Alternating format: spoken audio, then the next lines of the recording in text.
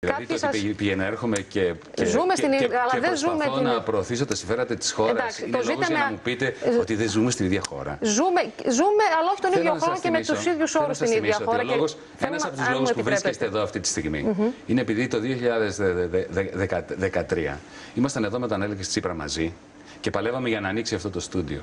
Γι' αυτό να είστε λίγο πιο προσεκτικοί στους χαρακτηρισμούς Δεν και το στους χαρακτήρισα. πανηγυμούς σας. Είστε έξω Λέω, ότι είσαστε κύριε Ε, Δεν Ρεφέλη. ζω σε αυτή τη παραστάσεις. χώρα, είπατε. Ναι, ότι έχετε και άλλες παραστάσεις Ξέρετε, καλύτερες. ε, να Δεν- κρατη- δεν σας χαρακτήρισα, Κρατήστε κύριε. λίγο τα προσχήματα τουλάχιστον, γιατί σε αυτό το στούντιο δεν θα βρισκόσασταν αν δεν ήταν ο αγώνας εκείνων που έδωσαν τη μάχη για να ξανανοίξει.